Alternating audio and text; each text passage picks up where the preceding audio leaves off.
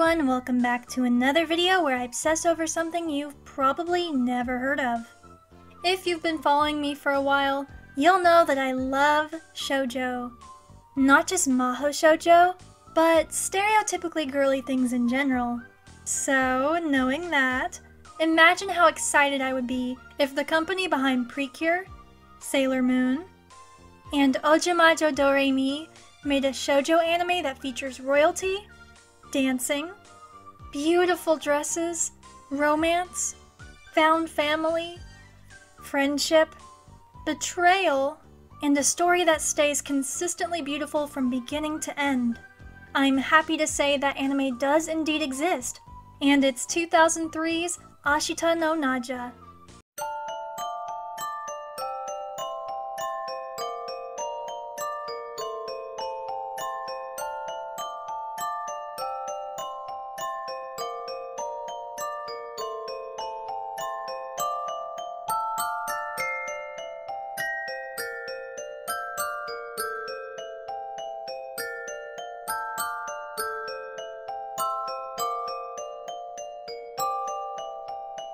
Ashita no Nadja, or Tomorrow's Nadja, is a historical drama similar to classic shoujo like Candy Candy. It's about a cheery blonde orphan named Nadja, voiced by Ami Koshimizu, aka Cure Melody, aka Sailor Jupiter, who receives a mysterious gift on her 13th birthday.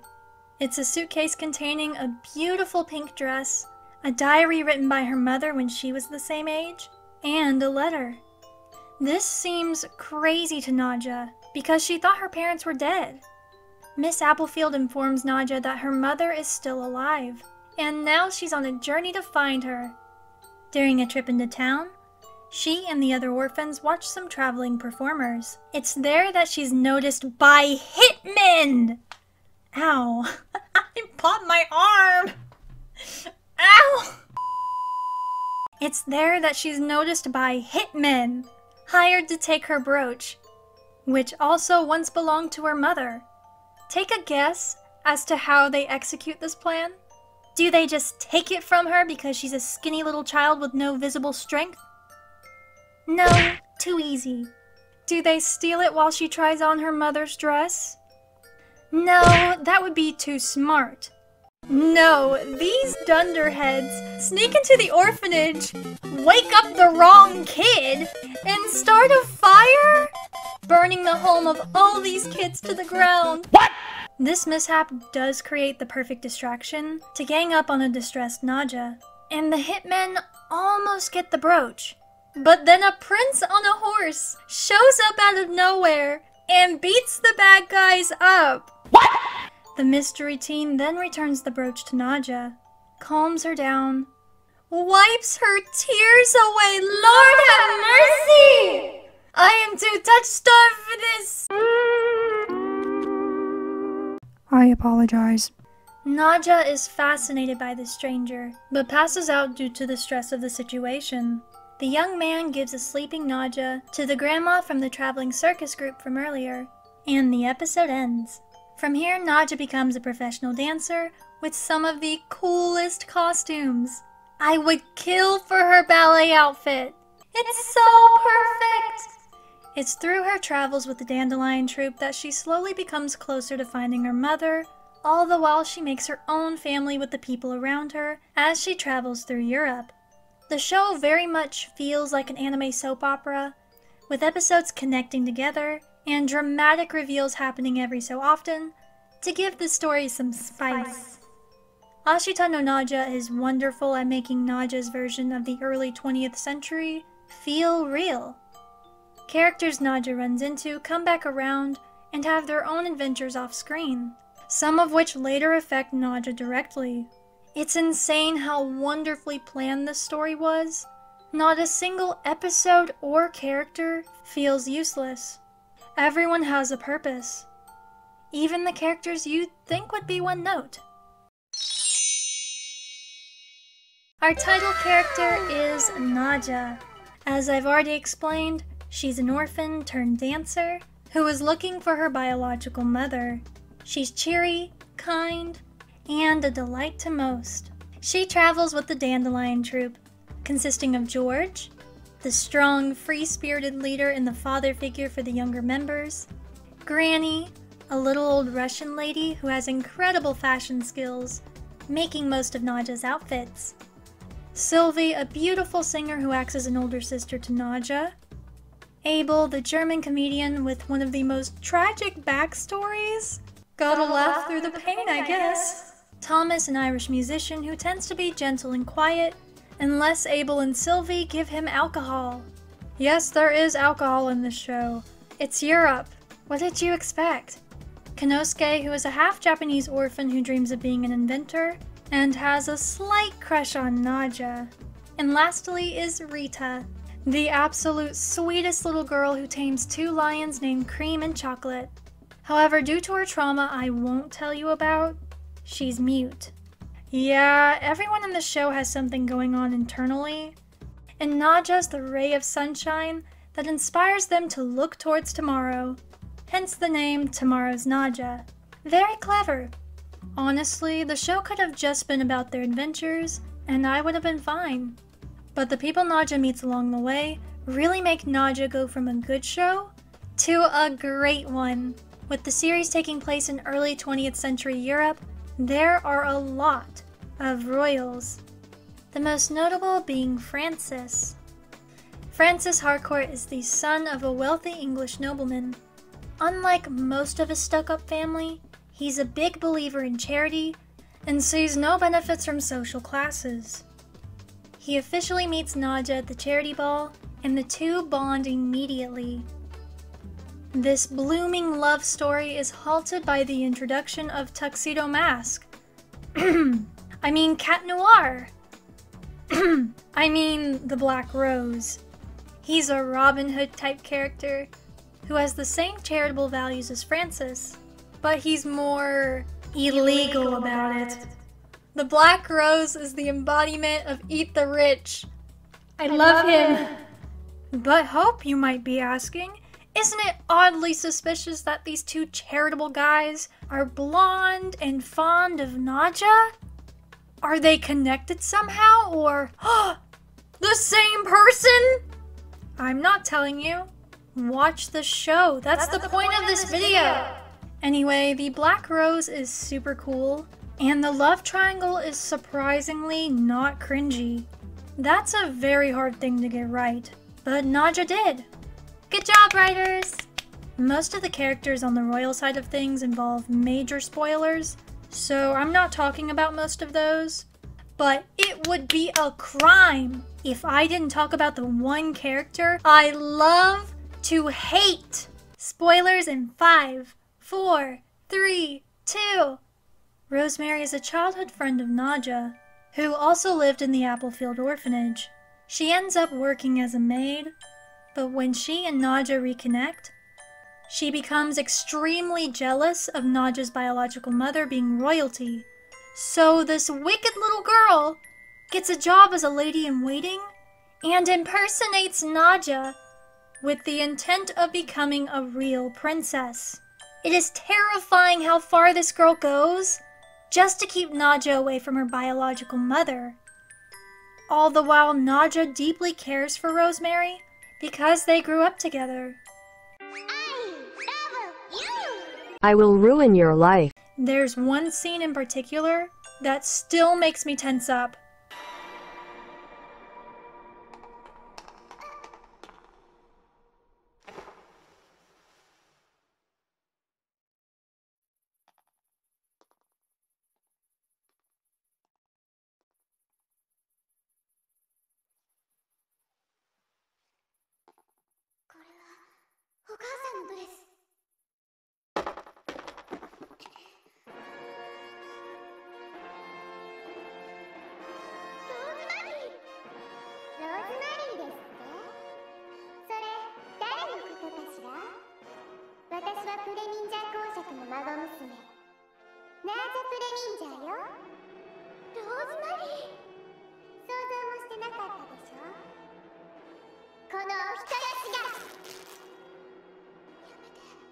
優しくて可愛くて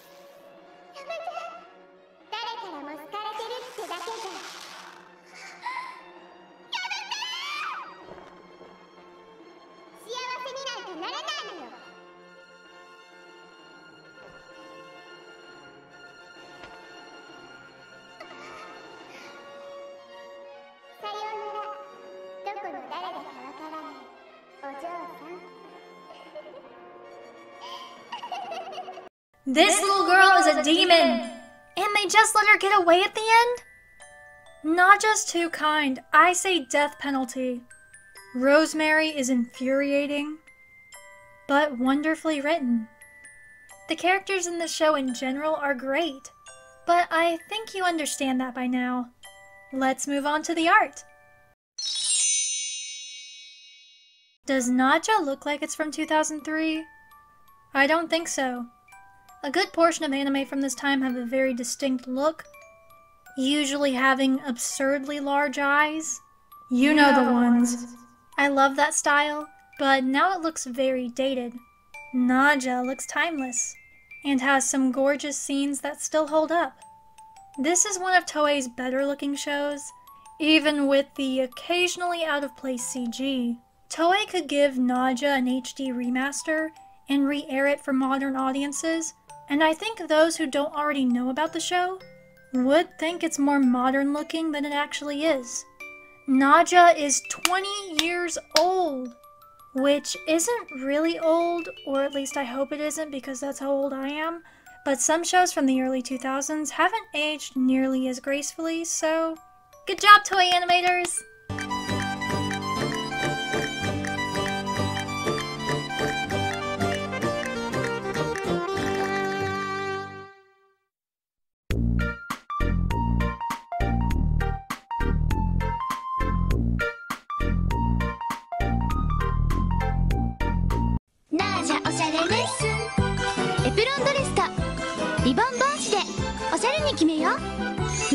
はいつも秘密のリングジュエリー中に指輪が入ってるのああプリティ明日のナージャなりきりシリーズ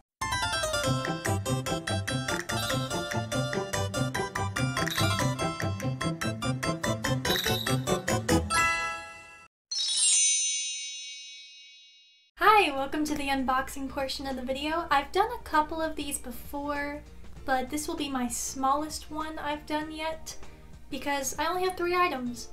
But I still thought they were cute and worth showcasing because I don't see a lot of Nadja merch roaming around on the internet. So yeah, this is what I have. First, I should talk about my minifigure that has, oh, whatever his name is, the bland one the nice one. He's not bland, he's nice. He's just not as spicy as the other one. I think the other one's name is Keith. That one I don't remember. Anyways, it has him and Nadja in her pink dress, which is my favorite. I'm basic. I love pink. I'm sorry. My only problem with this figure is that the seller forgot to give me the bow. So Nadja just has a big hole in the back of her head. Makes me sad. It was included in the picture, but for whatever reason I didn't get it and now this thing is falling apart. You need to keep this thing down. You cannot hold it because the stand falls apart. I don't know if that's because of age or if this just wasn't made that well. It was part of those like the machines the gotcha machines, I believe that's what they're called. There was like a whole minifigure set. This is the only one I have. I was gonna get a bundle, but I didn't think it was worth it. Next we have this Nadja educational activity book. Now the seller said it had been used, however the stickers are still fully intact, which I think is super cool. I'm not gonna use it, that would be a sin. But yeah, they're still in here just chilling out. And my dog is here. Hold on. Hopefully there will be no more interruptions. Anyways, as I was saying, this is a little educational activity book filled with stickers. And I think it's supposed to teach hiragana. You can correct me if I'm wrong. I've only used a few Duolingo lessons. and Google Translate. And there's lots of different little places where you can put the different stickers that match whatever word you need. you know, like normal educational activity books for this age group, which I believe is three to five. It says three, four, five, so um, going with that. But yeah, these pages are super, super cute, and I'm happy to have this in my collection. I think I got it for maybe $15. It was super cheap. Now, this last item is very interesting because I bought it from a seller, I believe, in Taiwan, and the packaging is kind of crusty. So we're taking it out. It looks like it's been opened before anyway, so yeah, sorry collectors. Now before, I either wanted to order the bigger baton or the umbrella, but frankly that's not in my budget right now. Tuition comes first, bestie, sorry. But I do have this. And that plastic is cracked anyway, so we're just gonna carefully cut into this. And, oh, that's like already unstuck. Oh. Oh, oh, okay. There's like one that might be on here that I can cut off. Like one that's maybe stuck on here. Yeah, this needs to come out. This is Yikes. There we go. I think that is all. Take this SpongeBob!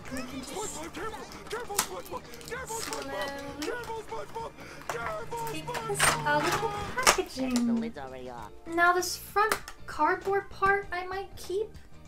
Because that's still nice. The back is disgusting. But I can use this. I'm like a little pack rat. Oh my gosh. Oh, oh yeah, this, this plastic needs to be thrown away. It's not the worst I've seen. At least it's not yellowed. But, oh. Is that dust? That looks like dust. This has definitely been opened before. I'm gonna go clean this off and I'll be right back. Okay, all that's really crusty is this little entry point, but the rest of it I got it pretty clean. And this is rubber, and that gets really gross really quick for some reason.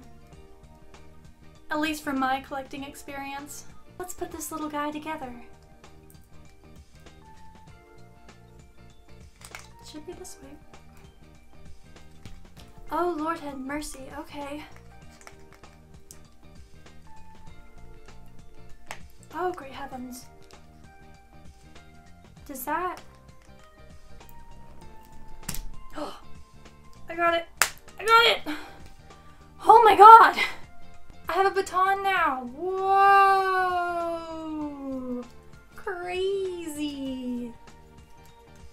Whoa. When I was in uh, middle school and in high school, I used to like do the pencil twirl thing. If this was smaller, I could do it. Oh, there's still dirt I missed. Here she is. Very cute. I'm glad the white isn't faded. Usually with toys like this, the white is like really crusty, gross color, if you know what I mean. Same with pink plastic, which really gets on my nerves because I love pink.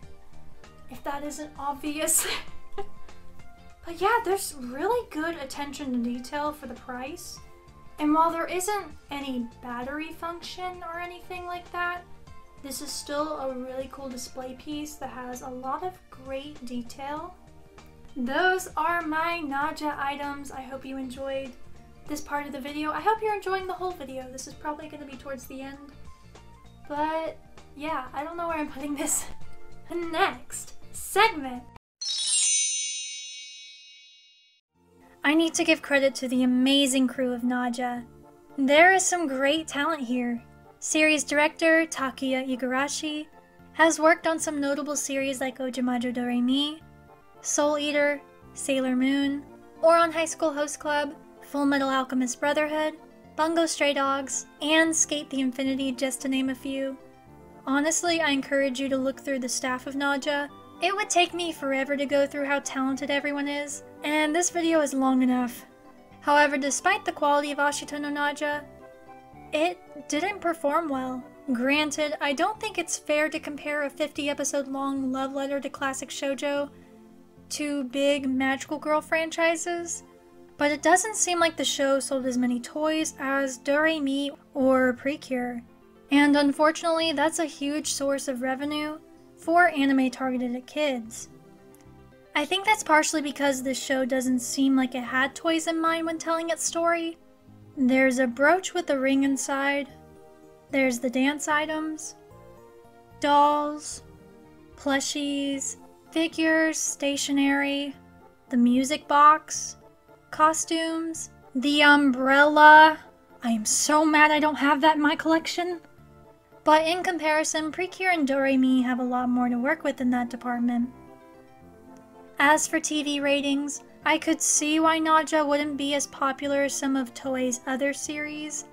Doremi, Precure, Sailor Moon, and others for the same demographic all have various amounts of filler, making it easier for younger viewers to jump in when they can. This isn't ideal, but there are times when you simply can't be home that day. Nadja, however, has no filler. The story is extremely tight, so if you missed an episode back when it was airing, and there wasn't a rerun, you'd be kinda confused.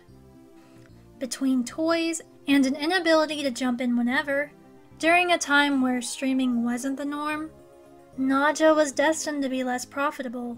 Also, the extremely popular Mermaid Melody was airing during the same year, so I wouldn't be surprised if some toy sales went there instead. And I can't say I wouldn't have done the same. The Mermaid Melody toys are so pretty! I think Nadja would have performed better during the rise of streaming. Could you imagine the success it could have had on Crunchyroll? Or Netflix? Funnily enough, William Winkler tried to produce an English dub for the series. This attempt resulted in two movie length clip shows from the original series. Dear Mother, after I left the Applefield Orphanage at 13, I joined the Dandelion Troupe, a wonderful group of traveling performers. My very first dance performance was in London. I admit I was nervous, but the show was marvelous. Later, I attended my very first ball. I wore your dress that night and danced with the handsome, starry eyed knight. It was a romantic evening I'll never forget. I think Nadja is a perfect historical shoujo. This is one of my all-time favorite shows, and I highly encourage you to check it out. It's not available anywhere legally as of me making this video, but I know you know how to sail the seas. I promise it'll be worth the searching inconvenience if you're a fan of drama, romance, and classic shoujo. Thanks for watching! If you enjoyed, you should subscribe and check out my other videos. I'm also very active on TikTok and Instagram, where I post lots of cute content. So follow me there too. Lastly, troop on Hopelets. Stay adorkable. Bye!